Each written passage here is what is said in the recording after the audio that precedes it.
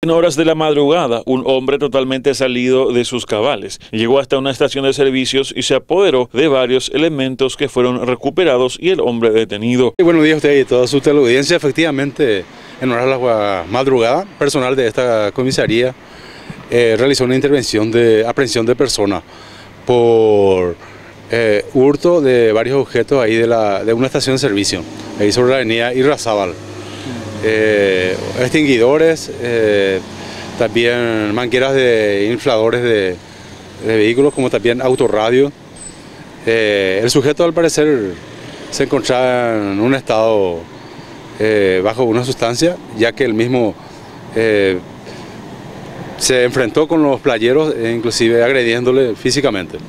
¿Y cómo fue, comisario, el caso? ¿Estos trabajadores lo habrían sorprendido a esta persona?